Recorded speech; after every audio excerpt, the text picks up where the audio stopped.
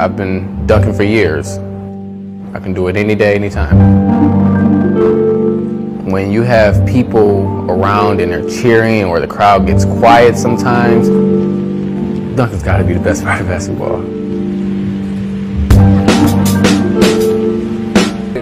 I'm out there, I feel like I'm just, I'm just like everybody else at the moment, you know, until maybe I do a dunk and it's kind of like, kind of takes the breath out of the crowd for a second, like, wow, what, what just happened?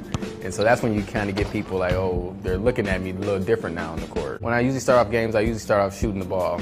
And then maybe I might get a lane one time, and that's when I go up for the dunk. And that's when everyone's like, wow, wow, do that again. And now it's not really about the basketball game anymore, it's about me doing a dunk.